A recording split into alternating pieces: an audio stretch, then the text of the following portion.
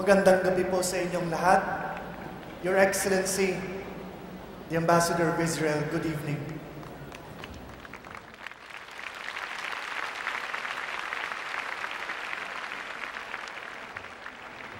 Nais ko pong humingi sa inyo ng ilang minuto lamang upang ikwento sa inyo ang aking nadaanan at kung paano ko nalaman ang kwento tungkol sa aking lolo. Nagsimula ito sa isang email. Meron akong natanggap na email na galing sa isang Amerikano at ang pangalan niya ay Frank Ephraim. Kinuwento niya na meron siyang sinulat na libro. Ang libro na ito ay tungkol sa kwento ng mga katulad niya na nagal sa balutan mula sa Germany, mula sa Austria, mula sa mga iba't ibang bahagi ng Europa dahil nais na silang patayin ng mga Nazi. Nung panahon na yon, hindi pa naganap ang ikalawang digmaang pandaigdig. Walang bansang gustong tumanggap sa mga Hudyo. Yung iba nakapunta sa Britanya. Ang konti nakapunta sa Amerika. Ngunit libo-libo sa kanila ay walang mahanap na lugar na mapupuntahan. Meron ilang magkapatid na mga negosyante. Ang pangalan nila ay the Frieder Brothers. Sila ay may mga negosyo dito sa Pilipinas at lumapit sila sa pinuno ng ating uh, pamahalaan ng panahon na yon at sinabi nila, hindi ba ninyo pwede tanggapin ang ilan sa aming mga kalahi na ngayon walang mapuntahan? Ang sinulat na report ng isa sa mga kapatid na ito, sinabi niya, nakausap ko ang presidente ng Pilipinas at simple lang ang naging sagot niya sa amin. Ang sinabi niya, bilang Kristiyano, paano ko ba matatanggihan ang kalahi ng ating Panginoong Heso Kristo?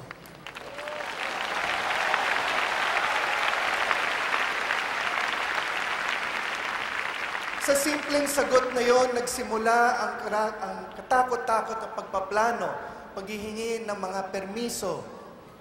Saan ba sila pupunta? Ilan ba sa kanila makakapunta dito? Saan ba sila ilalagay? At hindi po sa pagmamalaki, ngunit sa pag-share din sa inyo, dahil lahat sa atin, alam natin na ang mahalagang pagbibigay ay ang pagbibigay na talagang atin at hindi sa ibang tao. Ang sinabi ng aking lolo ay, kung wala silang mapupuntahan, meron din akong maliit na lupa doon sa may Marikina, doon sila pwede manirahan.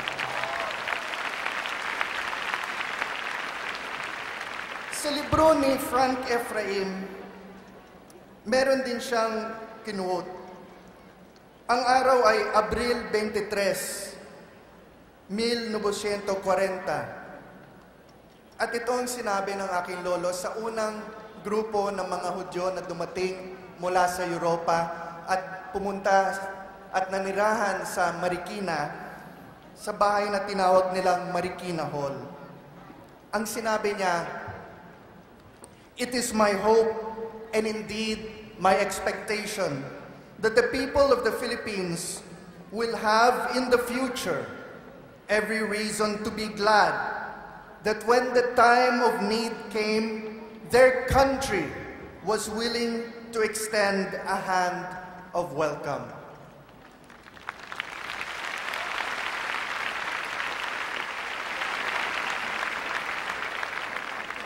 Alam niyo po ang mga bagay na ganito, mga kwento tungkol sa mga taong yumao na, mga panahon na nakaraan na, ay may kahalagaan dahil Nung pumunta ako sa Amerika, sa Ohio, kung saan na-meet ko ang mga pamilyang Frieder, si Mr. Ephraim, at ang isang grupo ng mga Hudyo na, na ang pangalan nila, the Center for Holocaust and Humanity Education, may lumapit sa akin na isang matandang Hudyo.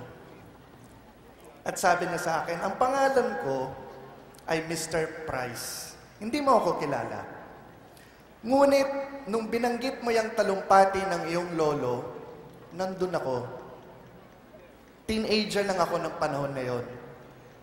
At lumapit agad ako sa kanya nung pauwi na siya at kinamayan ko siya. Hindi mo naman abutan ang lolo mo, hindi ba? Sabi niya sa akin. At sabi ko, hindi po. At sabi niya, ako, naabutan ko siya. Ako, kinamayan ko siya. Ako ay nandito dahil sa Kanya. At ngayon, kakamayan kita at nahawakan mo na rin ang kamay ng iyong lolo. Alam niyo po, napakagandang pakiramdam nito. Kahit ang layo na ng dumaan na panahon, sa sandaling iyon, parang ako na rin ang nandun sa Marikina at naramdaman ko ang sigla at tuwa ni Mr. Price. Kaya sa ngalan po ng aming pamilya, nagpapasalamat kami sa inyo, ngunit siguro naman mag-agree tayo na isa lang lamang ang dapat bigyan ng parangal. Isa lang ang dapat nating pasalamatan ang ating Panginoon.